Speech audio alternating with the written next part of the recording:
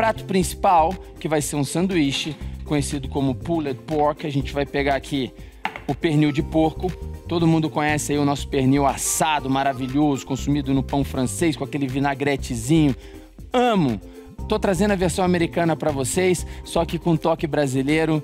Ao invés da gente consumir essa carne com barbecue, como eles têm costume, a gente vai consumir com um molho de goiaba. Beleza? Então vamos tratar aqui inicialmente o nosso pernil. Vocês conseguem ver que esse pernil já está desossado. Já foi retirado o osso aqui da parte central dele, né? Ó, então aqui já saiu o osso. Então, esse pernil eu vou temperar com sal e pimenta do reino. Bastante sal e pimenta do reino nesse momento inicial. É uma carne muito alta. Então você pode caprichar no sal com toda certeza, senão vai ficar sem sal. Inclusive, se você tiver um tempinho de sobra aí, pode salgar com uma horinha de antecedência antes de enfiar no forno porque daí o sal vai entrando nela, vai apurando e o sal não vai ficar só na superfície, mas também vai ficar na parte interna da carne. Outro tempero que eu gosto muito de utilizar é a páprica defumada. Pode caprichar aqui para já ir passando o sabor. Tem que fazer o processo dos dois lados, não tem jeito. Salga na parte de cima, salga na parte de baixo, pimenta do reino também e vamos colocar a páprica em todos os lados. Então, repetindo o processo. Aí, ó, olha que beleza. Vai ficando uma carne bonita demais. O fato de eu estar tá manipulando ela sem osso não vai mudar em absolutamente nada, porque o jeito que eu vou assá-la pouco vai interferir no final, tá? Então, ó, temperei em todas as partes, tem páprica, tem pimenta do reino, tem sal em todas as partes dessa carne. Como eu disse, se você puder deixar aqui uma horinha descansando para que o tempero entre nela, melhor ainda. Fora isso, se você puder também dar uma bela massageada para espalhar bem os temperos, também vai ser fantástico. Inclusive nessa parte interna aqui, que vai ajudar a entranhar tanto o sal quanto a pimenta do reino, quanto também a páprica. Lava a mão. E agora a gente vai fazer a base, que é a cama da assadeira que a gente vai utilizar para assar o pernil. Então, vou utilizar para isso cebola, cenoura e salsão, que já estão aqui do meu lado. Vamos pegar aqui uma cenoura, retirar as extremidades e depois a gente vem fatiando ela finamente para fazer a cama. Importante que esses cortes eles estejam uniformes para que não fique um lado da cama mais alto que a outra e daí o seu pernil olhasse de forma igual. Pode ser um maior que o outro, porém ele tem que estar tá na mesma espessura, tá? Ó, jogou aqui, espalhou bem na assadeira, já fiz a primeira cama de cenoura. Vou fazer a segunda cama de cebola. Joia, partir aqui as duas bases, retira a parte da pele com a primeira camada que facilita para você ter mais agilidade. Ó. E daí você vem fatiando a cebola também. Vou dar uma dica aqui para vocês. Não machucarem o dedo na hora de fatiar a cebola. Primeiro, faca muito bem afiada. Quanto mais a faca estiver afiada, menos força você vai precisar fazer para fatiar qualquer tipo de ingrediente. Então, faca boa, afiada não corta dedo. Faca cega corta dedo, faca afiada não. Então, ó, aqui você vem sempre escondendo os dedos para a parte interna da cebola. A base do seu dedo vai servir aqui como apoio para a lâmina da faca, parte do dedo sempre para dentro. Então não tem como pegar o seu dedo aqui. Depois você só vem deslizando a faca de cima para baixo e ó, vem fazendo aqui caminhas bem fininhas de cebola, tá? Então já fiz aqui, ó, rapidamente toda a fatia da minha cebola com o meu dedo seguro, graças a Deus. Não perdi nenhum pedacinho de dedo aqui para fatiar a minha cebola. Fatiar um pouquinho mais. Jóia. Eu vou colocar mais aqui porque eu quero uma cama bem grande de vegetais, onde eu vou deitar o meu pernil aqui por cima e ele vai para o forno pegar todo esse aroma que vai soltar dos vegetais. Os vegetais vão evitar que ele também grude no fundo, que ele queime no fundo e também todo o sabor, a água desses vegetais vão umedecer o meu pernil para soltar ele daquele jeito que vocês já imaginam, desmanchando, né? No final ele sai assim. Salsão a mesma coisa. Se não tiver salsão, não tem problema. O salsão ele dá bastante sabor para as preparações, porém tem muita gente que tem restrição com salsão, não gosta do sabor do salsão. Eu não quero brigar com você que não gosta do salsão. Porém o salsão ele realmente é uma base muito boa, muito forte para caldos, molhos e camas, como a gente está fazendo aqui. Ó, espalhou tudo muito bem. E agora, ó, vamos colocar aqui o pernil por cima. Deitou ele aqui, ó. Daqui você não precisa de muito mais coisa, tá? Porque você já tem toda a segurança dos vegetais por baixo dele, que vão garantir que ele não queime. Ele já está super mega bem temperado. E agora a gente vai levar para o forno para fazer o assado desse pulled pork. É um pulled pork caseiro, né? Os americanos eles têm aquelas pits que eles chamam, que são umas grandes defumadoras, que eles colocam lá a carne de porco e por lá ficam 12 horas assando. A carne, além de sair defumada, ela sai desmanchando. Só que é o seguinte, é algo nada acessível para nós que temos fogões caseiros em casa, simples. Então, eu estou trazendo aqui uma versão de pulled pork para você fazer em casa e apreciar um belo de um pernil de porco, que é uma das carnes que eu mais gosto de consumir, tá? Passei aqui papel alumínio por cima, vedei todos os lados, que eu quero manter o vapor todo dentro da assadeira. Não quero deixar escapar nada. Qualquer vaporzinho que sair dos vegetais ou da carne vai bater no papel alumínio e vai voltar lá para dentro e sempre umidificando a carne. Vão ficar girando ali dentro e umidificando, mantendo essa carne sempre muito bem suculenta. Vamos levar para o forno, 180 graus, e ela vai assar aqui por um bom tempo diria aí por uma hora, duas horas, vai depender muito da qualidade da sua carne para você descobrir como ela vai sair, tá? Barbecue de goiabada. Você já fez barbecue? Não é muito mais fácil comprar, né? Mas de goiabada não tem no mercado não. Esse não tem não, então você vai ter que produzir e vai fazer um belíssimo barbecue. Que ao invés de a gente colocar o, o ketchup na composição, a gente está colocando uma goiabada cascão super cremosa e envolvendo com os outros ingredientes que fazem o barbecue. Então, para isso, olha só, eu tenho aqui uma panela que eu vou colocar agora a goiabada cascão. Goiabada cascão a gente acha em qualquer supermercado com muita facilidade, tá?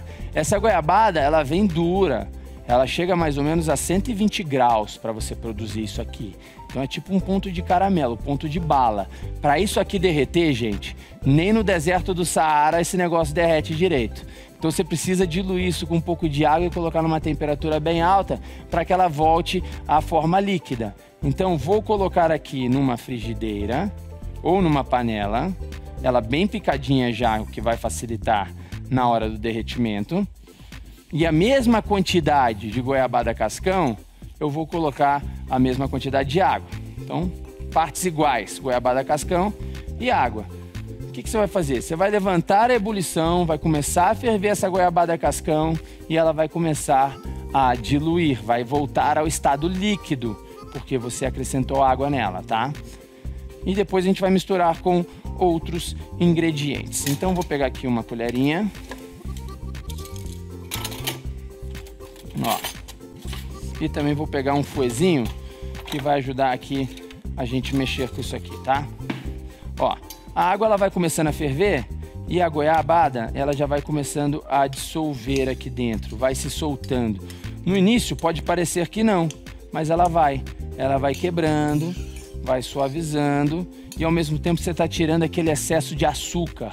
A água vai suavizar inclusive o açúcar para não ter um molho muito doce, tá? Depois de cinco minutinhos aqui, que esse processo ele demora mesmo, você tem que ter delicadeza, tem que ter calma. Vai ficar uns cinco minutinhos aqui na água até ela derreter por inteiro. Quando ela derreter por inteiro, ela vai chegar nesse estado aqui, que é esse estado líquido. Vai virar um creme como vocês estão vendo. Isso aqui é a goiabada cascão que eu mostrei em cubinhos, já derretida com água, e ela chega nessa cremosidade, ela chega nesse ponto, que é o ponto ideal para que você comece a trabalhar com os outros ingredientes. Então, a gente vai acrescentar nela uma coisa que é um ingrediente que normalmente você pode não ter acesso aí onde você mora, porém existem alguns substitutos para você colocar, tá? Fumaça líquida, que a fumaça líquida você acha em alguns supermercados, vem nos tubinhos. Deixa eu mostrar aqui a textura dela para vocês. Ela vem aqui em alguns tubinhos e ela vem é como se fosse o quê? Um extrato de algum churrasco, de alguma madeira. Então você sente o cheiro dela como se você tivesse assim é, é, é, cheirando um carvão que você acabou de fazer um churrasco de 12 horas. Você pega aquele restinho de carvão ali, você vai sentir o cheiro de carne extremamente defumado. Então é isso aqui que nós temos é, em um líquido muito concentrado. Então, aquele sabor mais defumado que você encontra no barbecue, normalmente ele é proveniente dessa fumaça líquida que nós achamos em supermercados. Caso você não ache no supermercado local, sugiro que você entre aí na internet, busque lá fumaça líquida, que você vai achar com toda certeza a compra na internet. E daí você vai poder produzir esse barbecue de goiabada que é perfeito para o face venda. Pode colocar no potinho, vender na sua vizinhança, que ele vai ficar ótimo. Ó, a água já ferveu e olha só como é que minha goiabada ela vai dissolvendo, ó. O caldo vai ficando espesso, ele vai ficando super legal para que a gente possa fazer a nossa nosso, na verdade, o nosso barbecue de goiabada, tá? Então ele vai aqui fazendo de um lado, vou deixar esse aqui de lado porque eu já tenho o que eu quero aqui, tá? Já dissolvido. Então olha só, vou colocar a fumaça líquida aqui. Não se preocupe que as quantidades a gente vai passar para vocês também nas nossas redes sociais, lá no Instagram, pode ser no Twitter também, pode ir no Facebook, arroba Band TV, ou podem ir nas minhas redes sociais pessoais, que é arroba Rangel no Instagram, arroba Rangel no Facebook e arroba Rangel no Twitter também. Ó, misturei a fumaça líquida, vou colocar aqui açúcar mascavo, e também molho inglês. Essa mistura aqui é fatal. Coisa linda. Ó, misturou bem. E aqui, gente, vai faltar um pouquinho de água. E essa água eu vou pegar daqui dessa outra goiabada sem problema para suavizar, tá? Então coloque água aqui para suavizar o seu molho. Essa aqui tem aqui, ó, olha lá. Vamos botar mais um pouquinho de água aqui, ó. Aí você vem suavizando o seu molho barbecue com água. Um barbecue de goiabada. O que, que te resta aqui agora? Levantar a fervura e deixá-lo apurar. Ele vai escurecendo, a goiabada vai tomando conta, a fumaça líquida que é escuro, o molho inglês, eles vão aparecendo mais de acordo com o que for fervendo. O importante é que ele vai chegar naquela textura mais cremosa. Olha só que cor linda tá esse barbecue aí na tela de vocês. Tá perfumando o estúdio, viu? Está perfumando o estúdio. Cá está o nosso pernil. Vou dar uma virada nele para ver a parte de baixo. Em cima fica nítido que ele dá uma bela assada. Embaixo, olha só, que ficou mais responsável pelo cozimento. Vamos fechar aqui, vai? Vamos fechar a câmera aqui em cima aqui, porque eu vou agora dar uma, olha lá, uma desfazida, ó. Ó, olha só como é que ele vai soltando do osso, olha. Olha só que coisa linda que fica esse pernil. Então, o pulled pork é isso aqui, é carne desmanchando, carne gostosa, uma carne saborosa, feita numa cama de vegetais. Por enquanto ela está com páprica, está com pimenta do reino sal e o gosto dos vegetais. Não tem água no cozimento aqui. É a própria água da carne. E depois você vem, obviamente, soltando ela e desfazendo, porque ela está muito quente. Inicialmente eu estou desfazendo com o meu pegador. Mas se você deixar esfriar um pouquinho, você vai conseguir fazer esse processo com a mão. Ó, olha só que carne soltando bonita que fica. Então é isso que a gente precisa para fazer o nosso pulled pork, que é o que? Esse pernil desmanchando, suculento, desfiando a partir do momento que ele sai do forno. Ó, isso aqui eu vou misturar com o nosso barbecue de goiabada e vou finalizar o nosso sanduíche. Estamos de volta e agora com a finalização daquele pernil de porco que fizemos assado. Eu estava aqui finalizando o molho barbecue, que é um molho de goiaba, um barbecue de goiabada, e eu vou colocar aqui só para finalizar um pouquinho de vinagre.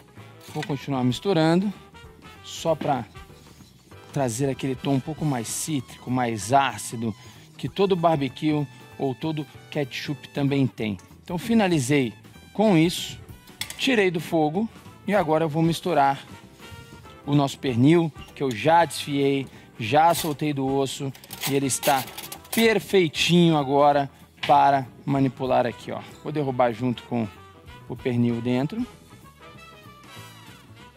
Isso aqui você pode molhar bem, tá? E esse barbecue aqui, você pode mantê-lo também dentro da geladeira e utilizá-lo na hora da finalização. O mais importante é você ter esse pernil muito bem hidratado e envolto nele, tá? Olha que belezinha que fica isso aqui, ó. Maravilha. Então agora eu vou misturar o pão com a manteiga. A gente vai botar aqui, ó, um pãozinho de brioche, um pãozinho de sanduíche. Joga a manteiguinha no fundo de uma frigideira, ó, dá uma bela tostadinha nela. E a gente vai bater esse pão rapidamente aqui nessa manteiguinha, só para dar uma bela de uma coradinha nele, uma douradinha nesse pão junto com a manteiga. Olha que beleza que ele fica, ó. Tá joia. Isso é coisa rápida mesmo. Já bati, já dei uma leve douradinha nele. A base eu vou utilizar com um pouquinho da maionese que eu bati. Pode jogar uma maionesezinha aqui, ó. Só dá uma sujadinha nele. O pão tá quentinho, está com manteiga. Vou colocar aqui o meu pernil com barbecue. Aí você pode caprichar, caprichar mesmo, porque essa é uma tradição desse sanduíche, é servi-lo bem caprichado assim.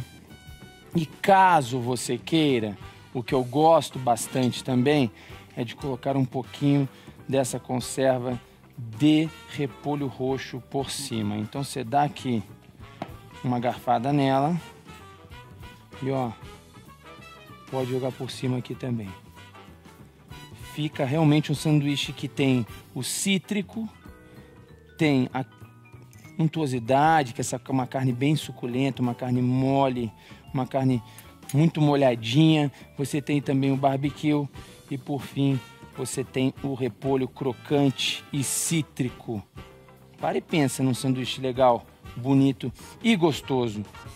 Eu adoro, tá? Isso sem considerar que esse barbecue você pode manter ele na geladeira e utilizar com outras preparações. Estamos finalizado aqui, hein? Ó, fizemos já todas as conservinhas, fizemos esse sanduichinho. Deixa eu dar uma limpada aqui para vocês terem um visual melhor dele, tá?